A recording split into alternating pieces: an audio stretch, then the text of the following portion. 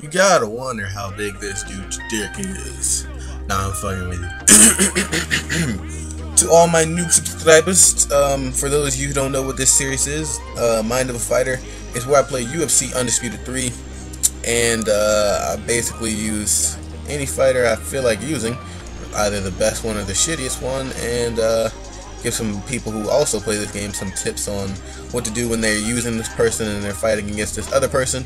And as you can see, I'm using the Gio AT, the greatest of all time, Anderson Silva. And I'm playing against some fucking C5 Hendo faggot.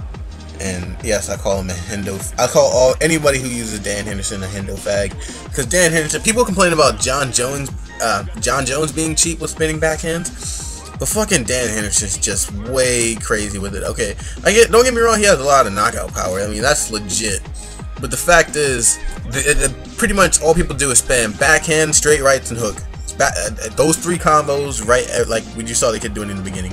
So if you're gonna complain about somebody using Jon Jones, then don't fucking use Dan Henderson, you faggot. He's just as gay.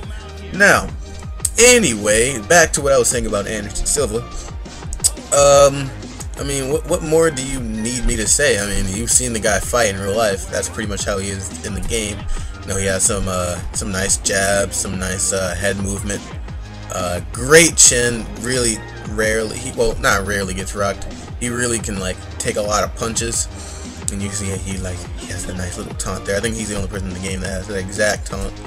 Um, most people just have like you know where they just dance for a second or something like that. So let's see. He has jabs. I like his two-step jab. That's one. I like to use fighters who have two-step jabs. Only thing about him is, is like he's um. I think he's a southpaw. Yeah, I think so. And I'm not really good at using people who are uh, who are southpaws. So that's my only issue with Anderson. I think I, I think he's an orthodox. I'm not really sure. I fucking not even looking at the video right now. But yeah, and then um, you know he has obviously those front kicks. I mean, he uh, is that him on the cover?